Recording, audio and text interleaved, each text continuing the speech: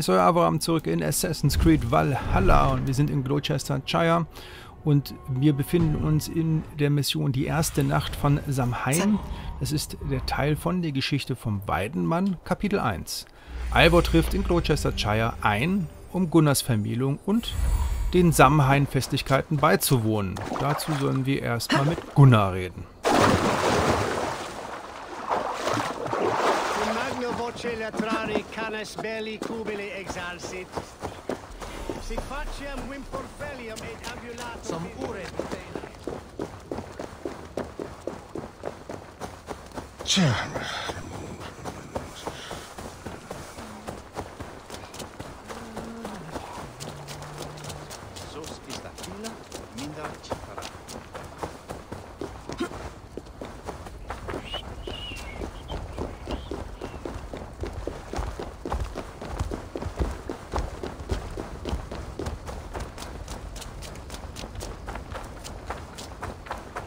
Da bist du ja, Gunnar. Und mit einem Lächeln, wie ich es lange nicht mehr gesehen habe. Hier drüben. Eivor, wusste ich doch, dass ich dich gerochen habe. Gunnar, du warst so schnell von zu Hause weg. Ich dachte, eine Valkyria hätte dich entführt. So war es auch. Diese Valkyria hier. Brigitte, Quell meines Herzens, das ist Eivor. Nur eine besondere Frau könnte unseren Gunnar bändigen. Lavendine da, mit Maisie Greeley. Auch schön, dich kennenzulernen.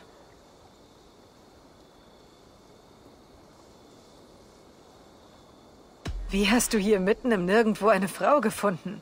Sie kam durch die Siedlung und verkaufte Runen. Sie strahlte heller als jeder ihrer Steine. Sie bot mir einen Handel an, eine Rune für eine Brosche, die ich gerade machte. Ein guter Tausch für mich. Aber sie liebt dieses kleine hässliche Ding. Hast du Familie, Brigitte? Nath mam a dad cered efo'n gilydd yn anwn. Können hab drws mi. Briegs Mama und Papa waren die letzte Hohepriesterin und der Aldermann. Sie sind nicht mehr hier, aber der jetzige Aldermann sorgt für sie. Ich würde diesen Aldermann gern treffen, wenn eure Familien jetzt vereint werden. Eine Verbindung geschmiedet in Liebe. Komm, suchen wir ihn. Und gib mir nicht die Schuld, wenn er ein, zwei Sachen über dich gehört hat. Kommst du mit, Brieg? Dim diolch. Yw trwy bags o fair sych o gwmpas eich gilydd. A teifor gael clis llawn. Gut, dann verschwenden wir mal keine Zeit.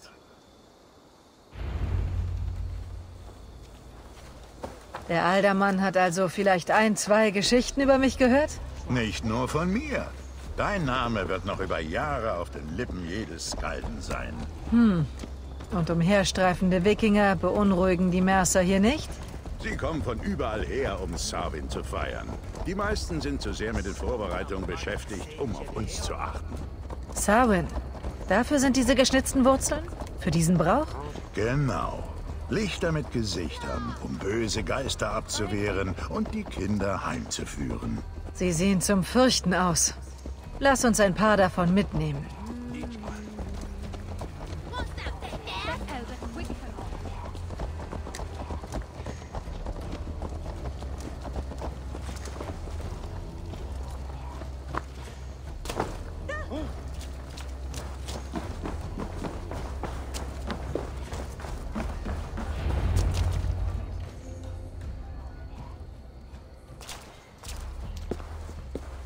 Da ist der Aldermann. Kanon! Ein guter Anführer, der sich um die Sorgen seiner Leute kümmert. Gehen wir zu ihm, wenn er fertig ist. Gut. Dann stelle ich dich erstmal Tudor vor.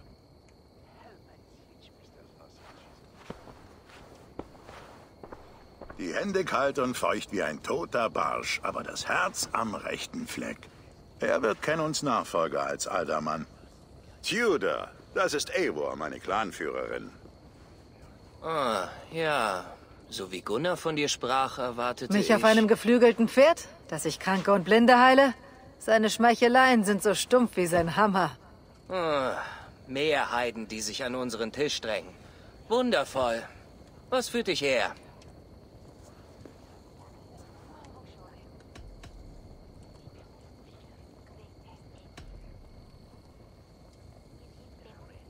Habe ich dir etwas getan? Ich bin nur für die Hochzeit hier. Wo ich herkomme, vergiften wir den Brunnen der Freundschaft nicht so vorschnell. Was hat die Freundschaft der Dänen dem christlichen Mercier gebracht? Könige von Gottes Gnaden durch Handpuppen ersetzt.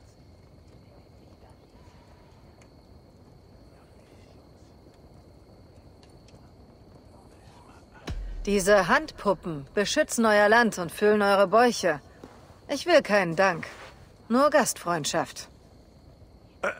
Äpfel! Eivor, warte, bis du den Apfelwein probiert hast. Den magst du doch, oder? Tudor, Apfelwein? Ah, du musst Eivor sein. Tudor, ich sehe, du hast unseren Ehrengast schon begrüßt. Du kommst gerade rechtzeitig für mein letztes Sarwin. Auf deinen Wunsch heißen wir alle Heiden willkommen, die nach Gottes Glow-Orchester kommen. Tudor, als dein Erntekönig verlange ich, dass du dir die Rübe aus dem Arsch ziehst und fröhlich bist. Du bist also hier, um die Familie zu treffen, bevor er meine Brigid fortbringt, um die Braut eines Schmieds zu werden? Wir fühlen uns geehrt, dass sie Teil des Rabenclans wird. Doch das Grün hier können wir kaum überbieten. In dieser nebligen Jahreszeit muss ich mein Mädchen und mein Land fortgeben. Doch Gunnar ist ein guter Mann und er spricht ständig von dir. Wenn ihr mich bitte entschuldigt, ich muss mich noch um etwas kümmern. Ach ja, der Schrein. Bei so vielen Dieben und Bestien hier läuft man glatt Gefahr, im Dienste Gottes umzukommen. Canon, ich brauche keine Heidin zum Schutz. Oh, er wird in den besten Jahren niedergestreckt, ohne eine Erinnerung an warme Schenkel oder Apfelwein, um sich im Jenseits daran zu erfreuen. Bei meiner Ehre. Dann werde ich nicht ruhen, bis er wohlbehalten zurück ist. Einverstanden, Tudor? Dann bin ich wohl überstimmt. Nur was will eine Dänin bei der Preisung des heiligen Kühnechelm? Gott wird weinen. Meine Geliebte, ruft Eivor. Falls du dich anschließen willst, wir gehen nachher noch zu einem Mummenspiel. Geht, möget ihr eine eiserne Freundschaft schmieden, aber gebt auf Feen, Sumpfwesen und Böses acht. Ich muss einem Gelübde beiwohnen, einen Lehrling einführen und ein Schwein schlachten. Sollen wir?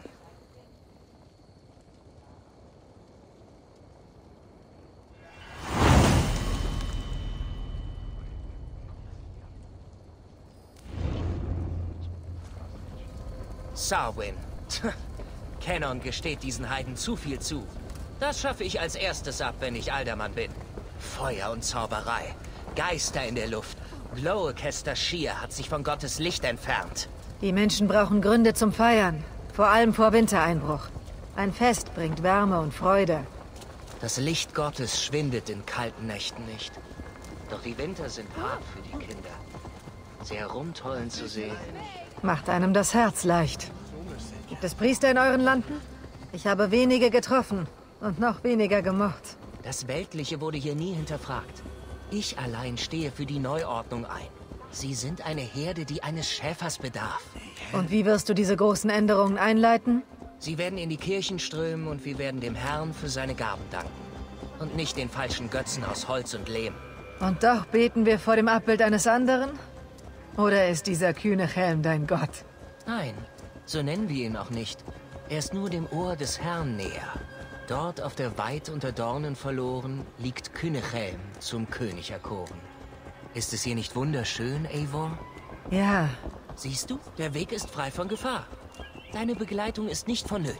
du bist ein wärmerer Mensch als die Maske, die du trägst. Und du wirst mich nicht los. Ich werde mein Wort gegenüber Canon halten und dich sicher zurückbringen.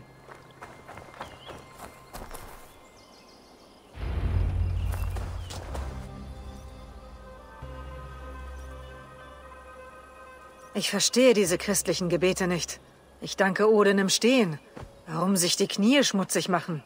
Um uns vor Gott demütig zu zeigen. Zudem habe ich mir schon bei Schlimmerem die Knie schmutzig gemacht. Das klingt nach einer Geschichte, der ich gern mein Ohr leihen würde. Bitte, Eivor, ich muss beten. Sollte ich zusehen oder mich wegdrehen? O Herr, schenke deinem unwürdigen Diener dein höchstes Gut. Geduld. Ich werde dein Gebet nicht unterbrechen müssen, um dich zu beschützen. Und doch kannst du es anscheinend nicht lassen. Was hast du denn bitte gesehen? Ein Hasen?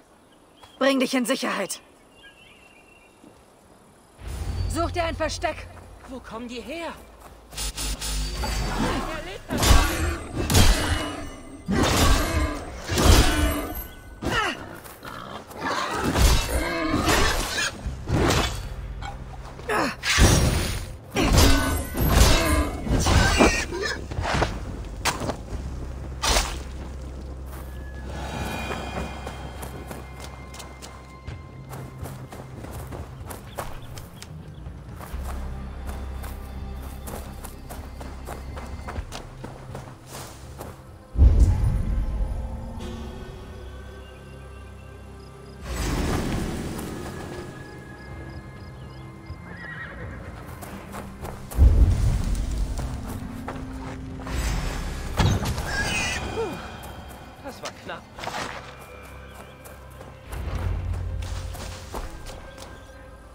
Eivor, danke dafür, dass du mein Leben gerettet hast. Gut, dass ich hier war, um dich zu beschützen. Vielleicht hat Canon das zweite Gesicht. Teufelsbrut. Gespaltene Hufe von Lucifer gesandt. Dieses Land muss zu Gottes Gnade zurückfinden. Wahrscheinlich ist der Schrein einfach in ihrem Revier. Herr, wir danken dir für deinen Schutz. Hier ist es nicht sicher. Gib mir einen Augenblick zum Beten, Eivor. Mehr verlange ich nicht. Wir sollten nach Glowacaster zurückkehren. Außer du möchtest dem kleinen Märtyrer hier für das heutige Festmahl danken. Ich bin kein Kleinkind, das im Wald ständig bewacht werden muss. Geh ohne mich vor. Ich gab Canon Ja, mein... ja, dein Wort. Und wenn ich ihn sehe, sage ich ihm, dass du mich vor den Hauern dieses Teufels bewahrt hast. Äh, Und Eivor, ich schulde dir zumindest, dass wir anstoßen, wenn du magst. Du findest mich beim Fest.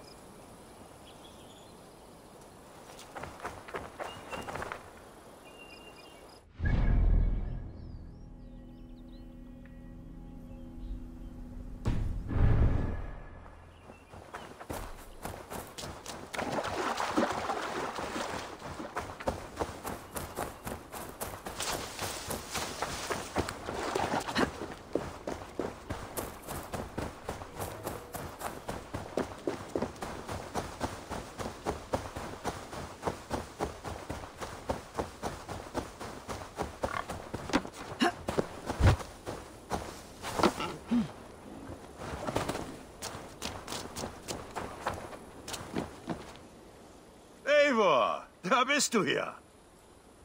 Hier bin ich. Also, welche Abenteuer hast du ohne mich erlebt? Ich habe Tudor zum Schrein eines christlichen Heiligen gebracht. Der Weg war nicht ganz friedlich. Ein paar Keiler machten ihre Aufwartung. Odd, mae'r path na usually saff. To the brifo. Aber du hast ihm die Haut gerettet? Ah, Das hätte ich gern gesehen. Euch beide zusammen.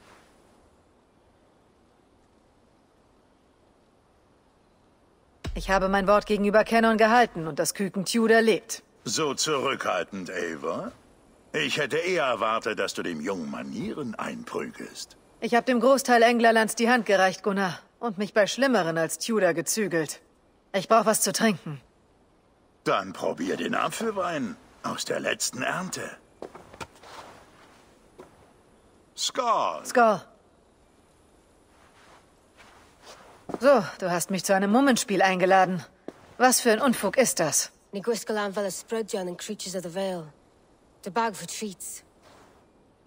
Die Bewohner von Glowacaster halten ihre anderweltlichen Besucher für verfressen. Und wenn du wie einer aussiehst, hast du auch was davon. Einfach so? Das kenne ich sonst nur von Festmahlen. Dann machen wir ein Untier aus dir und lassen dich für Speis und Trank über die Hügel streifen.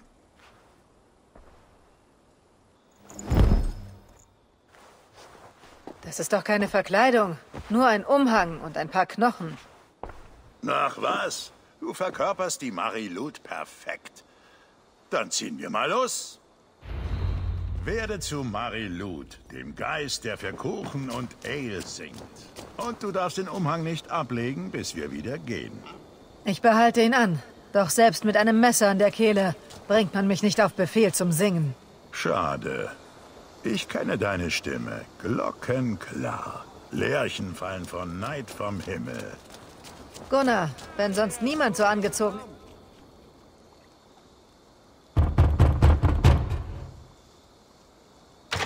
klopf. Bitte, was willst du denn? Oh, Marilut. Stimmt, stimmt. Wir haben dieses Jahr Kuchen statt Bier. Sauben Nacht und der Mond erwacht. Marilut spukt an der Tür. Jetzt sollen wir als Mary Lütt gehen. Das ist so, ich finde nämlich so ein bisschen an Halloween die Geschichte, aber es ist nett. Das Kostüm braucht ihr auch noch später. Süß will ich essen, bin wie besessen. Kam sogar her dafür. Haha, hier, Süßes für Marilut. Du hast es dir verdient. Spielst du die Rolle eines trickreichen Geists? Können trickreiche Geister sehen? Die Augenlöcher dieser Maske sind furchtbar. Es braucht nur eine Maske und süße Kuchen, um dich in einen fröhlichen Skalden zu verwandeln. Ich werde nicht singen, Gunnar. Dann in den Nebel der Nacht zum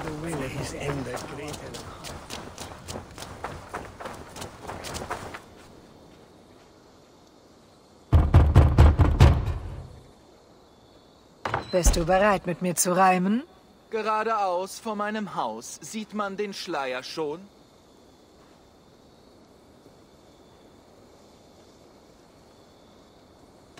Ich gehe umher, klopf viel und sehr, will Kuchen und Bier zum Lohn.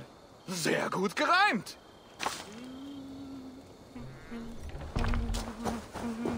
Ah, Kerle, die zu viel trinken, machen den Kleinen Angst.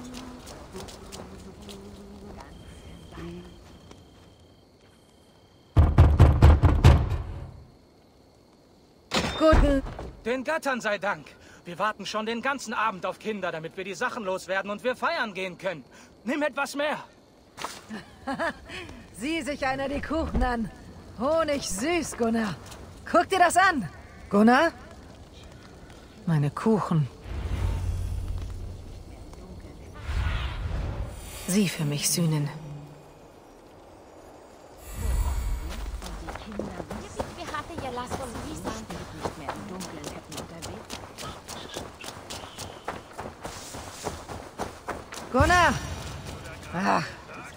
Verräter. Nimm deine falschen Götter und verpiss dich in dein vollgeschissenes Erdloch. Du bist entweder furchtlos oder dumm, Junge, dass du so mit einem vom Rabenclan sprichst. Passender Name für Plünderer. Flugratten, die nehmen, was ihnen nicht gehört. Ich pick dir die Augen aus und geb sie deinem Gott zu fressen. Gunnar, wir sind hier Gäste. Lass ihn gehen und wir ziehen weiter. Du willst dir heute unbedingt die Nase brechen? Da helfe ich gern. Christ im Tor. Du wirst.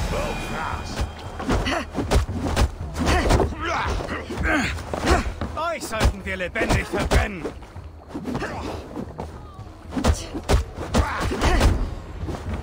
Bist du sicher, dass du nicht in Glowercaster bleiben willst? Die wissen, wie man Spaß hat.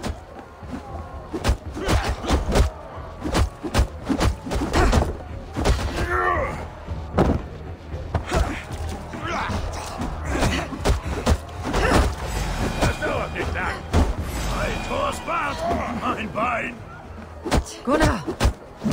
Beautiful McCallum.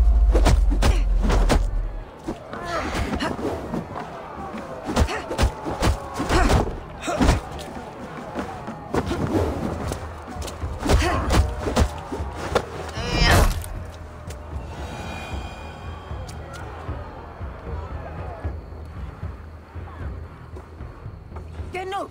Schlägereien gehören auf die andere Seite des Flusses. Hier sind Kinder.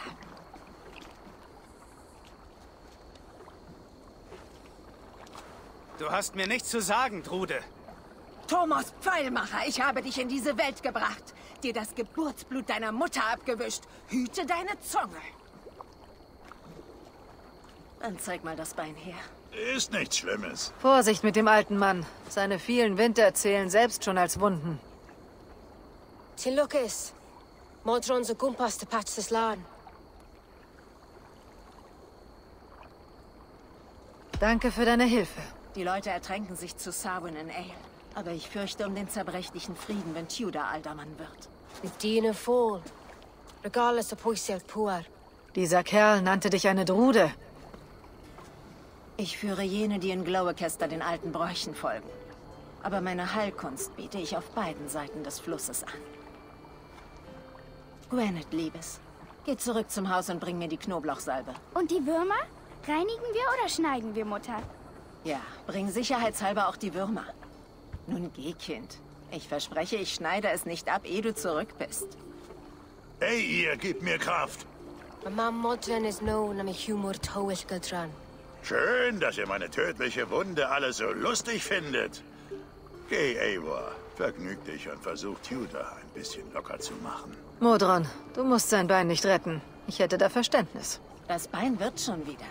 Aber keine Arznei Englerlands vermag sein Gesabber aufzuhalten. Ich kann keine Wunder wirken.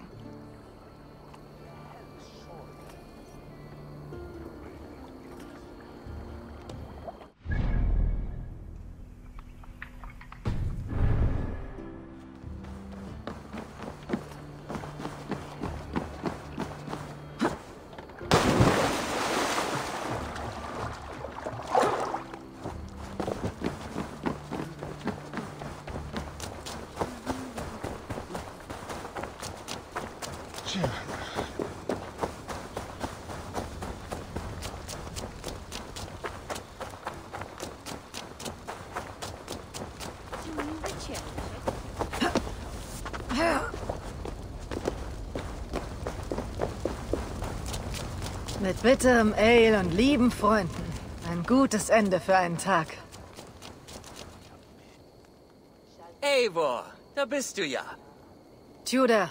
Sei gegrüßt. Der gute Gwillem hat meine Ehre in einem Trinkwettbewerb herausgefordert. Mach mit! Der Junge ist leichte Beute.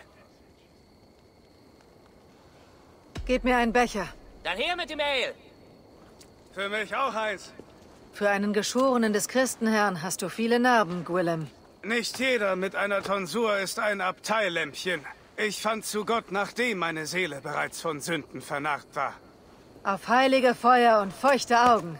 Im besten Rausch lässt man sich treiben auf Wogen der Weisheit. Skoll!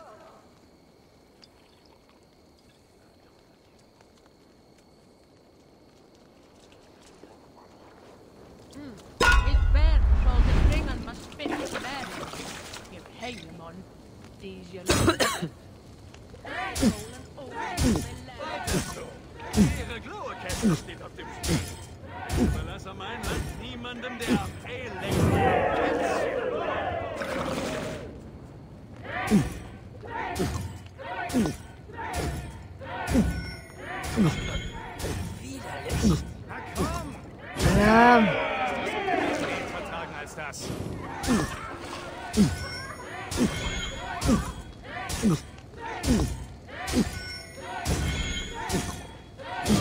Etwa schon?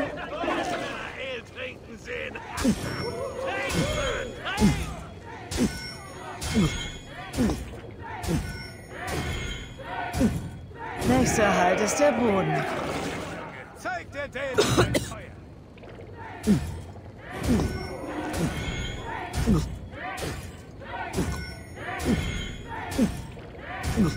Kotz nicht ins Fass, hörst du?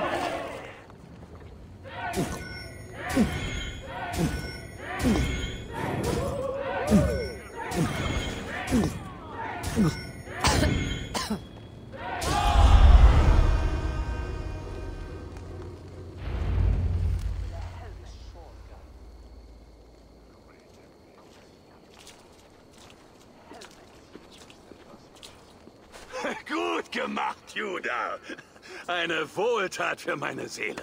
Hier, ich gebe noch einen aus. Auf neue und alte Verbündete. Von allen Aldermännern, die ich traf, scheinst du mir der sorgloseste.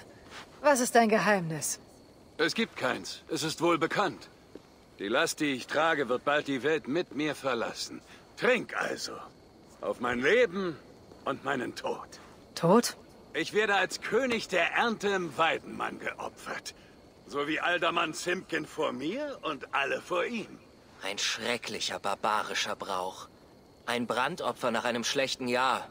Sie hoffen, satte Götter sind gnädiger. Deine Leute sind dir treu ergeben, Kennon.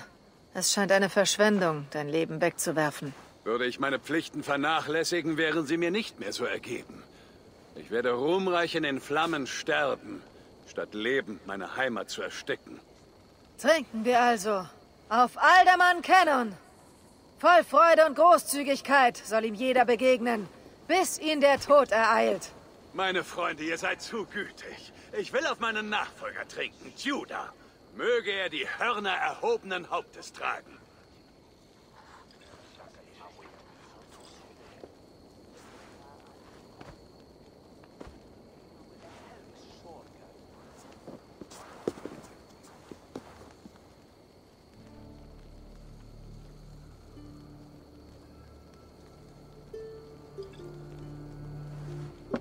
Lasch, was ist das? Wasser? Ich fühle mich wie Thor, der Meere leer säuft.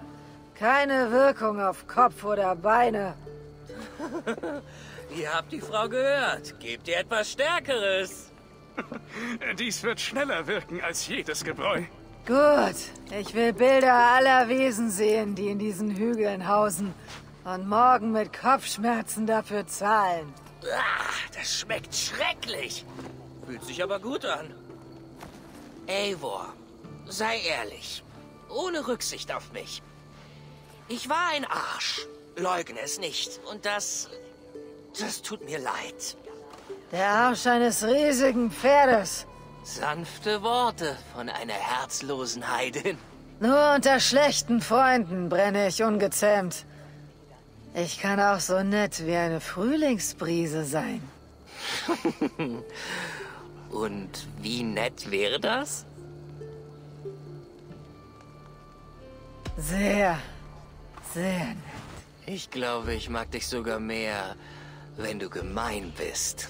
Tudor, unsere Stämme verbinden sich durch die Hochzeit von Gunnar und Brigid. Aber wir könnten uns auch durch einen Schwur binden. Oh ja. Mein erstes Bündnis als Aldermann. Ich nehme an. Leisten wir einen Schwur.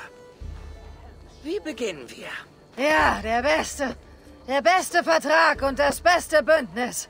Auf den Vertrag! Auf den Vertrag! Den besten!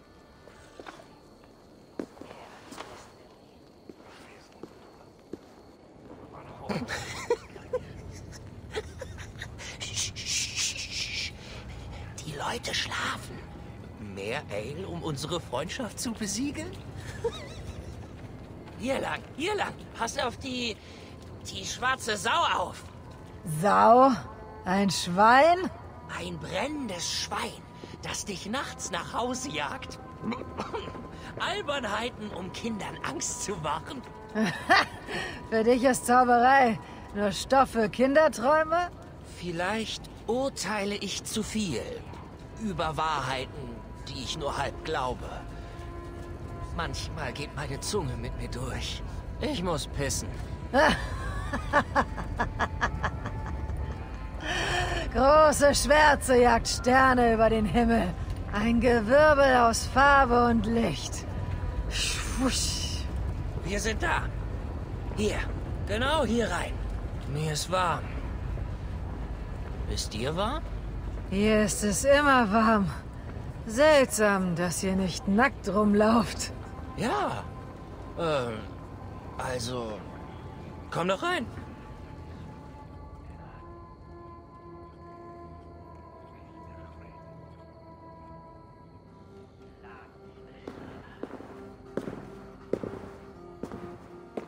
Tudor? Tudor!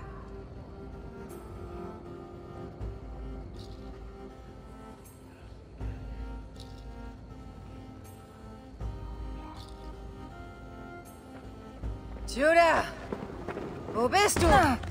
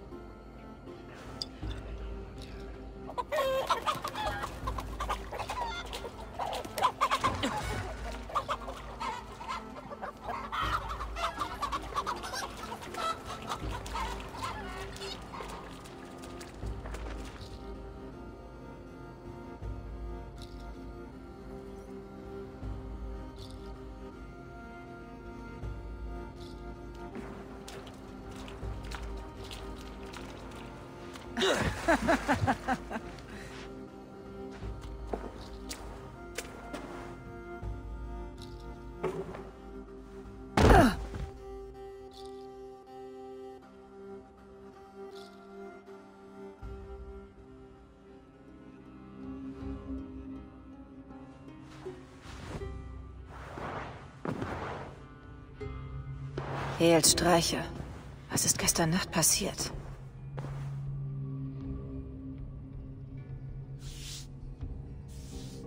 Ach, die Wirkung des Gebräus hält noch an. Tudor, bist du hier?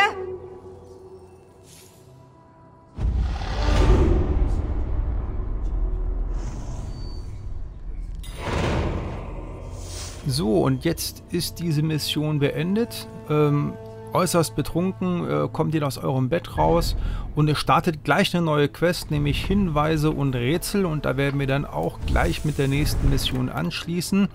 Die gehen wirklich ineinander über. Und von daher mache ich erstmal hier einen Cut nach einer halben Stunde und wir sehen uns dann gleich in der nächsten Folge wieder. Have fun, neuer Aboram. Bis demnächst. Ciao, ciao.